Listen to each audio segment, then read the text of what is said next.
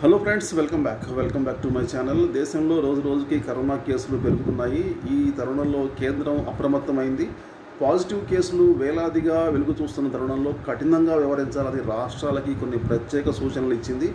Vaccination ప్రక్రియను వేగవంతం చేయాలని ట్రేసింగ్పై ముఖ్యంగా ట్రేసింగ్పై దృష్టి పెట్టాలి. ఎక్కడ కేసులు వస్తున్నాయి ఎక్కడి నుంచి వస్తున్నాయి కంటైన్మెంట్ జోన్లుగా వేటిని పెట్టాలి వాటిపై ఎక్కువగా దృష్టి పెట్టాలని తెలిపింది ప్రధానంగా ఢిల్లీ కేరళ కర్ణాటక మహారాష్ట్ర ఒడిశా తమిళనాడు తెలంగాణ రాష్ట్రాలు కరోనా ప్రోటోకాల్ విషయంలో అప్రమత్తంగా ఉండాలని కేంద్రం పేర్కొంది. తెలంగాణలో రోజుకి సగటున యావరేజ్ చూసుకుంటే దాదాపుగా వెయ్యి కేసులు దాకా వస్తున్నాయి. ఒకరోజు నైన్ ఫార్టీ ఒకరోజు నైన్ ఫిఫ్టీ ఒకరోజు నైన్ హండ్రెడ్ ఇలా. అంటే ఒక వెయ్యికి అటు ఇటు దగ్గరలో ఉన్నాయి. నియర్ చాలా దగ్గరలో ఉన్నాయి వెయ్యికి. ఆంధ్రప్రదేశ్ ఏపీ ప్రభుత్వం అయితే అసలు బులెటిన్ విడుదల చేయట్లేదు. ఎన్ని కేసులు వస్తున్నాయో అక్కడ అసలు లెక్కలేదు అసలు. అదేమి లెక్కలు చెప్పట్లేదు అసలు. అయితే తెలంగాణ ఈ కోవిడ్ ప్రోటోకాల్ని సరిగా పాటించట్లేదని చెప్పేసి కేంద్రం మొట్టికాయలేసింది చివాట్లు పెట్టింది.